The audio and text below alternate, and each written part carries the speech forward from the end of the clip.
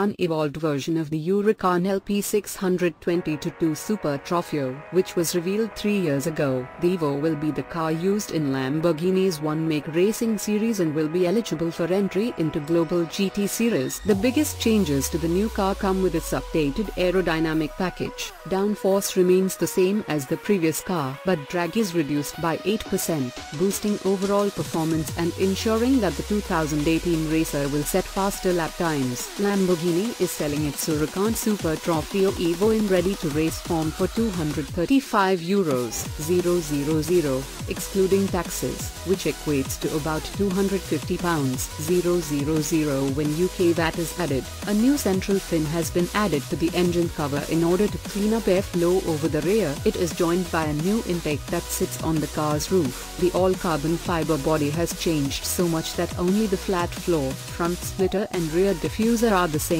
No mechanical changes have been made to the car's engine, which is a naturally aspirated 5.2-liter V10 as used by the Huracan road car. It does, however, have a new exhaust system.